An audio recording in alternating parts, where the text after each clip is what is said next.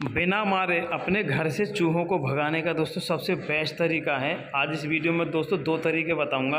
यहाँ पे देख सकते हैं, ये कपूर का टैबलेट है। ठीक है? तो घर के चूहों को भगाने का, बिना मारे। दोस्तों, आसान सा तरीका है। चूहे ही नहीं, दोस्तों छोटे मोटे कीड़े मकोड़े भी आपको एक भी नहीं देखेगा। करना क्या है दोस्तों, देख सकते हैं।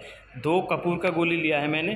कपूर का एक एक गोली चारों कोने में घर के डाल देंगे। उससे भी दोस्तों चूहे भाग जाएँगे, ठीक है? दूसरा जो तरीका है, यहाँ पे देखिए मैंने एक ढक्कन ब्लैक फिनाइल को लिया है, ठीक है? और इसमें दोस्तों हम क्या करेंगे? एक गोली को दोस्तों अच्छे से पीस करके इसके अंदर डालना है। अभी वीडियो को एंड तक देखते रहना है। वीडियो पसंद आए तो वीडियो को लाइक, शेयर और चैनल को सब्सक्राइब ज़रूर करें, क्योंकि ऐसे ऐसे इंफॉर्मेशन व्लॉग इस चैनल पर आप देखते ही रहेंगे। यहाँ पे देखिए, कपूर का टैबलेट को पीस करके डाल दिया है, एक ढक्कन फिनाइल में।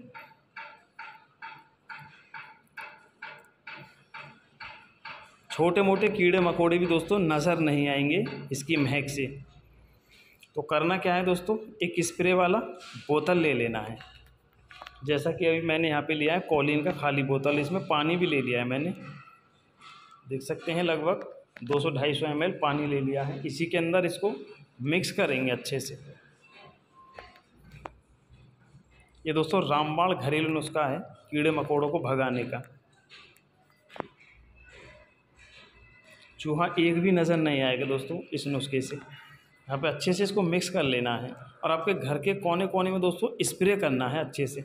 जहाँ पे आप आपको दिखे कि यहाँ पे ज़्यादा कीड़े मकोड़े हैं, चूहे हैं, वहाँ पे स्प्रे करते रहेंगे। इसकी महक से एक भी चूहा या कीड़े मकोड़े नहीं आएँगे। थैंक यू सो मच अगली वीडियो में मिलते हैं।